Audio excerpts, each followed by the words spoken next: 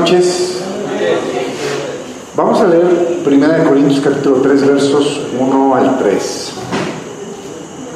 Traigo la versión Dios habla hoy y dice, yo hermano no pude hablarles entonces como a gente madura espiritualmente, sino como a personas débiles, como a niños en cuanto a las, a las cosas de Cristo. Les di una enseñanza sencilla Igual que a un niño de pecho se le da leche en vez de alimento sólido, porque ustedes todavía no podían dirigir la comida fuerte y ni siquiera ahora pueden dirigirla. Fíjense lo que dice en el siguiente verso. Eh, dice, porque todavía son débiles mientras haya entre ustedes envidias, discordias. ¿Qué es una discordia? Desacuerdos. Pues discordia es desacuerdo fuerte. Porque, digo, no tenemos que estar de acuerdo en todo, pero ya cuando sube de tono, entonces sí ya llega a ser discordia. Dice, es que todavía son débiles y actúan con criterios puramente humanos, dice. O sea, dice la Biblia que nosotros ya no somos del mundo, aunque estamos en el mundo. ¿sí? Que fuimos rescatados de qué? De la vana manera de vivir que recibimos de nuestros padres. Entonces ya no debemos de dejarnos llevar por estos, dice aquí, criterios humanos. ¿Qué es un criterio? Una forma de pensar. Está, está hablando de pensamientos puramente humanos, puramente carnales. ¿A dónde nos están llevando estos pensamientos humanos y carnales? Hay gente que se considera caballo y, ya están poniéndose, ¿cómo se llama? No sé si han visto las noticias, se ponen prótesis y todo, y porque ya se sienten caballos, se sienten perros, se sienten no sé qué, y este y lo que antes consideramos como una enfermedad mental ahora lo están aplaudiendo y lo están promoviendo. Y son criterios humanos. De hecho, en Romanos 12.2, en la versión Dios habla hoy, dice que ya no sigamos los criterios de este mundo, nosotros nos dejamos llevar por un criterio totalmente diferente. Nosotros ya no vivimos o no debemos de vivir como vive la gente de afuera. Fíjate, corregí, no debemos de vivir como porque la verdad es que pues, sigue habiendo cosas en nuestras vidas que no deberían de estar. Ok, Gálatas 4.1. Esta cita es muy interesante. Gálatas 4.1 dice que en tanto que el heredero es niño, en nada difiere o no tiene ninguna diferencia con el esclavo. ¿Sí? ¿Qué es un heredero? El que es dueño de una herencia. Y dice la Biblia que en Cristo somos coherederos juntamente con, con Cristo, ¿no? Y somos herederos y coherederos de de todo. Pero dice la Biblia en tanto que el heredero, o sea, está hablando de nosotros, en tanto que el heredero es niño, no tiene diferencia con el esclavo. ¿Quién es el esclavo? El que no cree en Cristo, los de allá, que son esclavos del vino, esclavos de la, de la droga, esclavos de sus pasiones, esclavos de un montón de cosas. Ellos viven como esclavos, pero dice que nosotros si no maduramos, aunque seamos herederos, seguimos viviendo como esclavos de nuestras pasiones. ¿Cuántos aquí siguen viviendo esclavos de sus pasiones? ¿Eh? Nosotros ya no debemos de, vivir así, ya, no nos rige eso. Pero fíjate cómo dice, en tanto que el heredero es niño, en nada difiere del esclavo, dice, sino que es señor de todo, dice, pero, dice, mientras llega la madurez, está bajo tutores y administradores. ¿Qué significa eso?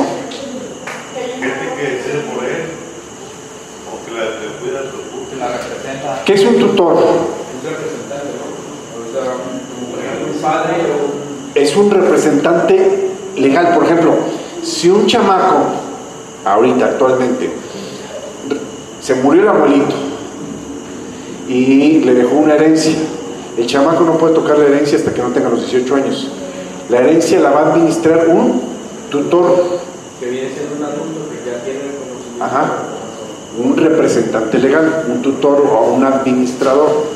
Entonces, ¿de qué está hablando aquí? Que mientras tú no madures, tú no vas a poder administrar la herencia que Dios te dio. ¿Captan?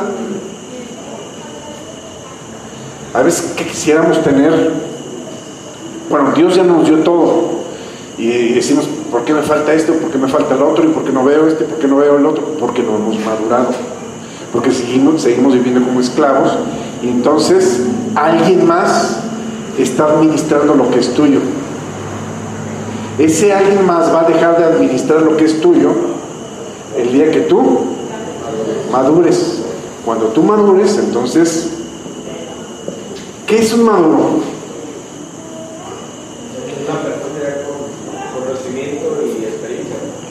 Fíjate, una persona madura es una persona responsable de sus actos y de sus acciones. Entonces, mientras tú no seas responsable, no eres adulto. ¿Cuántos responsables hay aquí? ¿Y cuántos irresponsables sabemos? Ahora, lo interesante aquí es que la bendición de Dios está, sí, muy fea la palabra condicionada, pero sí de alguna manera está atada a tu madurez espiritual.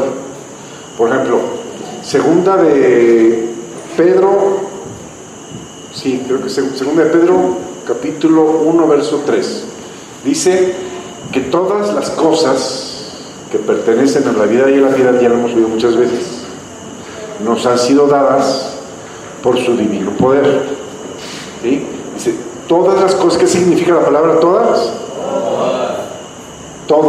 Pertenece a la vida y también a la piedad. ¿Qué pertenece a la vida? Todo lo físico.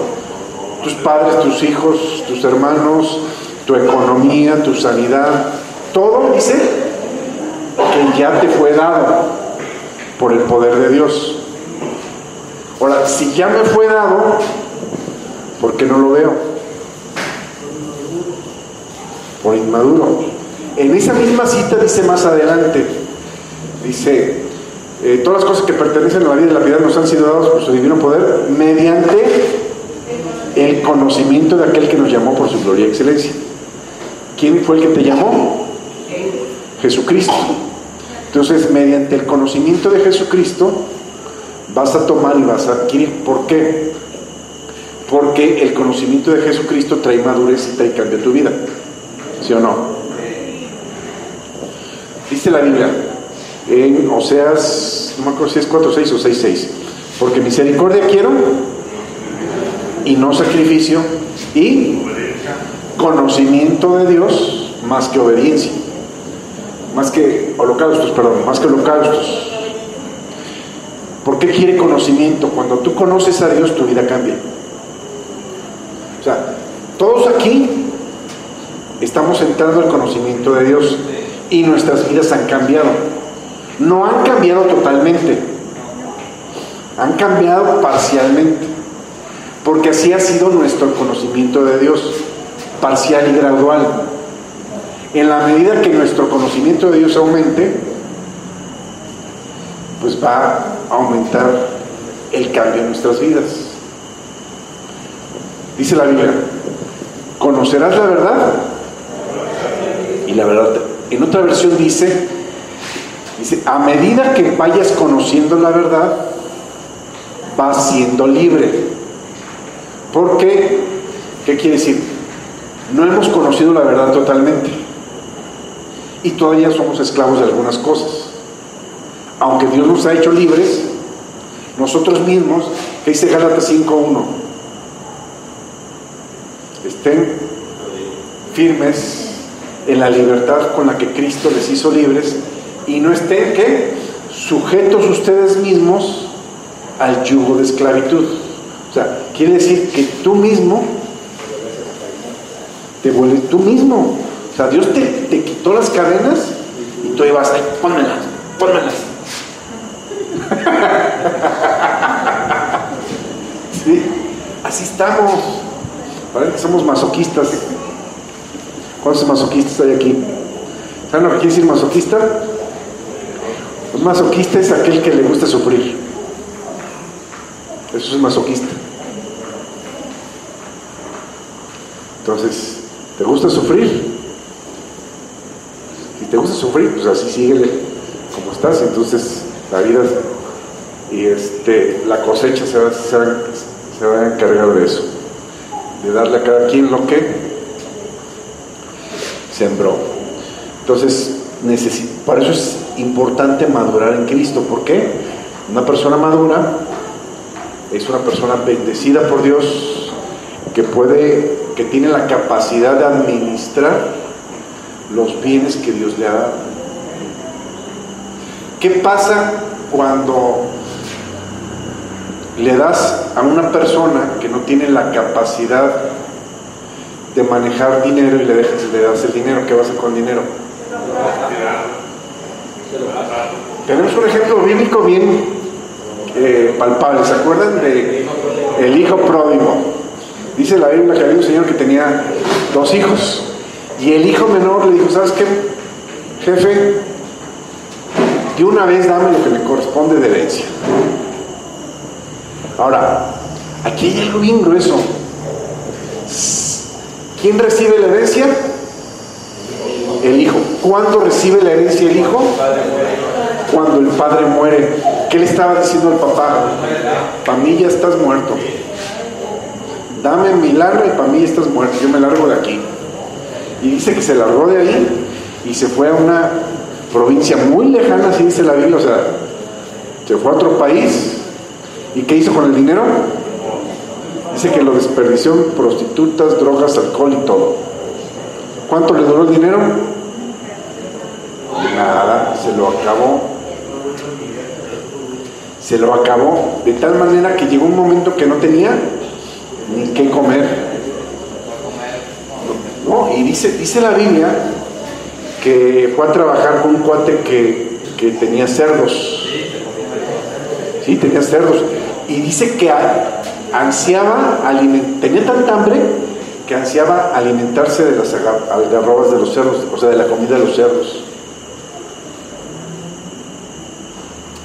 ¿Sabes qué representan los cerdos, los cerdos en la Biblia? Lo inmundo. Los demonios representan los cerdos. ¿Y de qué se alimentan los, cerdos, los demonios? Del pecado.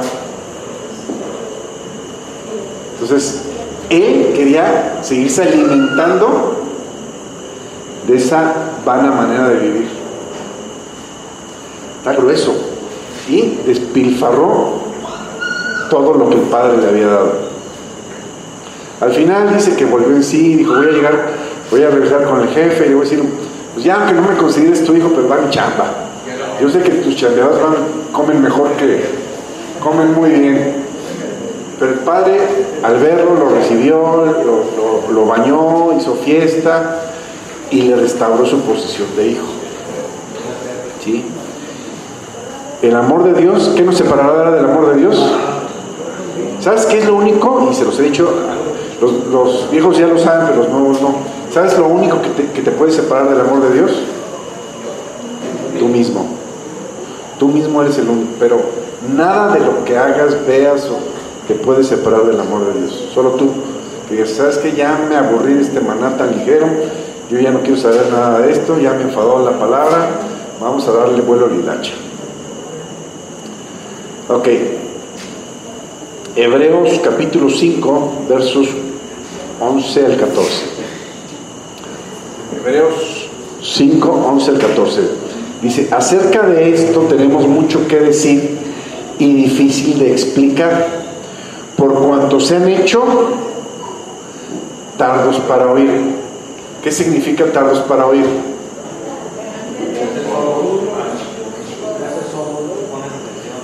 Que no estás poniendo atención. Si yo te, te digo, ¿qué fue lo último que prediqué, la, última vez que prediqué? Pero a veces ni saliendo sabemos porque no pusimos atención, dicen se han hecho tardos para oír. Verso 12, fíjate lo que dice el, el 12, porque debiendo ser ya maestros después de tanto tiempo, tienen necesidad de que se les vuelva a enseñar cuáles son los primeros rudimentos de la palabra de Dios. Debiendo ser maestros, ayer estábamos platicando precisamente en, ¿cómo se llama?, en la célula que tenemos de, de liderazgo, y me llama la atención esta generación, cómo, cómo está viviendo la generación actual. Eh, yo le preguntaba, por ejemplo, a, Roberto, ¿a, ¿a, qué edad saliste de tu casa? No, me dice, como los 17 o 18. Yo me casé a los 18 y ya estaba chambeando. Y ahorita los chamaquitos, los, el bebecito tiene 30 años y viviendo en casa de los papás. O sea, ha habido un cambio, o sea, ve, la, de la generación mía para atrás, la gente chambeaba rápido, chambeaba pronto, desde, desde chicos se les enseñaba a, a, a ganarse el, el, el, dinero y a ganarse el pan, ¿no? O aprendíamos el oficio del papá o lo, o, o lo que sea. Héctor, ¿a qué, ¿a qué edad empezaste a trabajar? ¿Mandé? como a los 14, no, es que ahorita hay chamacos que no saben trabajar, tienen 30 años, 35 y digo, chamacos por decirles, pero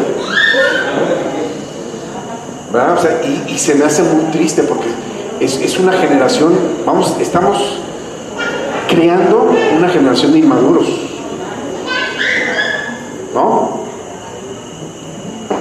Y digo estamos porque pues, somos la generación que está arriba. Tenemos tomar la parte que nos, que nos toca.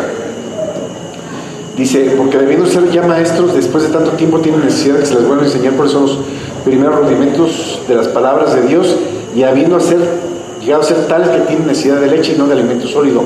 Y todo aquel que participa de la leche es inexperto en la palabra de justicia porque es niño, pero el alimento sólido es para los que han alcanzado madurez para los que por el uso, para los que por el uso, ¿qué significa el uso? Que lo llevan a cabo por la práctica. Dice, tienen los sentidos ejercitados en el discernimiento del bien y el mal, por la práctica. Yo me acuerdo que, este, no me acuerdo en qué familia pasó, que le dice eh, el hijo a la mamá, oye mamá, este, al rato vengo, este, voy a ir con unos amigos o voy a hacer y al rato regreso. Dice, ay, mi por la que tienes ya ni deberías de regresar. Treinta y tantos años. Ok, Hebreos capítulo 6, versos 1 adelante. Ahí adelantito de donde estábamos. Hebreos 6. Dice, por tanto, dejando ya, ¿qué significa dejando ya? Ya déjalo a un lado, dice, los rudimentos de la doctrina de Cristo. ¿Qué son los rudimentos? Las bases, las primeras enseñanzas. Vamos adelante a la perfección, no echando otra vez del... ¿Qué significa otra vez? Que se, echó, se echaron ya al principio, pero, o sea, vas a construir una casa y echas los cimientos. Los cimientos, ¿cuántas veces los echas? Una vez, pero si se echan. Si no los echas, la casa se viene abajo. Se tienen que echar. Porque ahí te va, mira, dice, el fundamento de, dice otra vez del fundamento del arrepentimiento de obras muertas, de la fe en Dios, de la doctrina de los bautismos, porque hay gente que dice, no, ya no debemos bautizarnos. Aquí está hablando que es rudimento. Y dice que no se echen otra vez. Quiere decir que en el principio sí se echaron. ¿Sí? Que son bases. No lo, ya se bautizó una vez, no lo vas a volver a bautizar es una sola vez. ¿sí? También dice de la fe en Dios. Y seguimos hablando de la fe en Dios. ¿Por qué? Porque no hemos madurado. ¿Por qué seguimos hablando de la fe en Dios? Porque no hemos madurado. O sea, qué gacho que tienes 20 años de cristiano y todavía te tengo que decir, que Dios te ama. O sea, no tienes la seguridad y la certeza de que Dios te ama. ¿Sí me explico? Y hay gente así que como que hay que, dice el tiene recordando y recordando. Yo sé que no todos, pero sí hay, hay gente así que hay que estarle recordando. Dice la doctrina de los bautismos, de la imposición de manos y la resurrección de los muertos y del juicio eterno. Y esto haremos si en verdad Dios lo permite, porque es imposible que, los que una vez fueron iluminados y gustaron del son, don celestial y fueron hechos participantes del Espíritu y asimismo gustaron de la buena palabra de Dios y los poderes del siglo venidero y recayeron, sean otra vez renovados para arrepentimiento, crucificando de nuevo para sí mismos al Hijo de Dios y disponiendo al vituperio. Entonces, ¿de, quién, ¿de qué está hablando en general? De alguien que conoció a Cristo, que creció en la doctrina de Cristo, que tomó los fundamentos y se hizo un lado. Dice, no puedes volver a crucificar a Jesucristo, no puedes volver a echar otra vez mano de los fundamentos. O sea, está hablando de, alguien que casi casi apostató. Primera de, primera de Corintios 14, 20. Primera de Corintios 14, 20 dice, hermanos, no sean niños en el modo de pensar. ¿Qué significa no sean niños en el modo de pensar? Sean maduros. A mí una vez, la verdad, hasta, no sé si me, dieron ganas de reír, llorar o qué. Una vez cuando estábamos en, otra iglesia, en otro auditorio, llegó una hermana a la oficina y me dice, pastor, estoy muy sentida con el hermano fulano, porque es que me vio feo. Yo dije, pues es que así ve. así tienen los ojos, así ve. ¿No? A veces me han dicho, ay, qué gacho, no me saludó. La verdad es que yo soy bien distraído. Mejor me agarras en la calle y es que ni te vi. ¿Sí me explico? Y nosotros nos hacemos suposiciones. No, el gacho no me quiso, ¿qué gacho? No me quiso saludar. Ya no me quiere. ¿Sí? Pero por eso dice, sean maduros. Mi esposa hablaba el domingo de justificar a los demás. No, pues a lo mejor no me vio. Me vio feo, pues no, pues a lo mejor este no sé, este, necesita y ya no enfoca bien y por eso te ve así, ¿no? Entonces justificarnos. Dice, hermanos, no sean niños en el modo de pensar, sino sean niños en qué?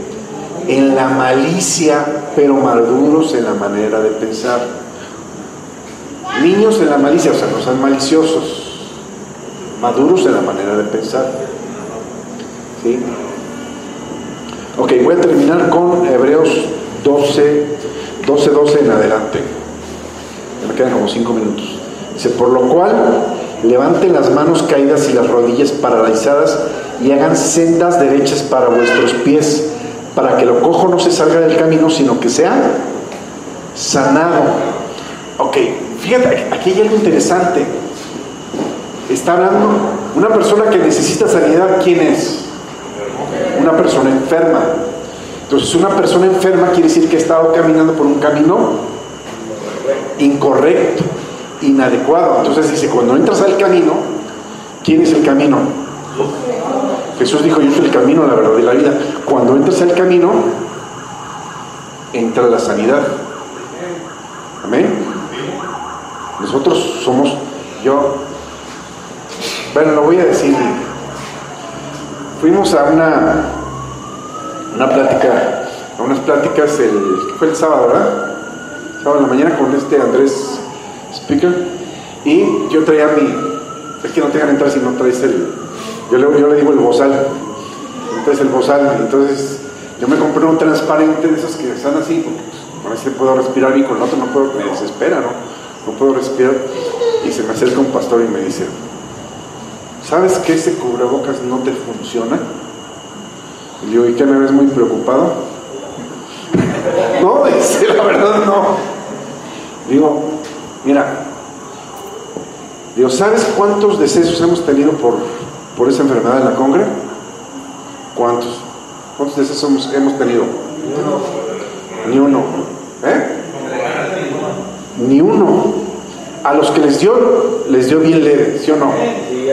Un dolorcito de cabeza o no que les quitó el olfato un tiempecito, pero aquí somos sanos por las llagas de Jesús.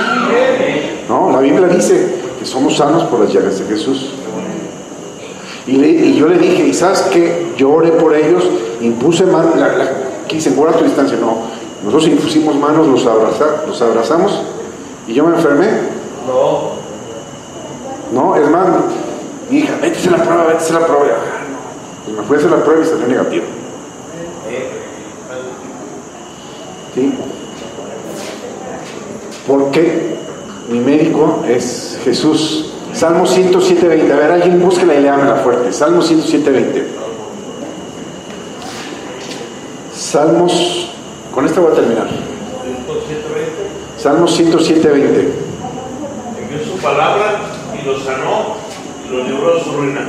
Envió su palabra, nos sanó y nos libró de la ruina. Entonces su palabra me sana y me quita de la, me saca de la ruina. El mundo está en ruinas y está enfermo. Los que estamos en Cristo somos sanos y somos prósperos. Amén. Con esto termino. Gracias.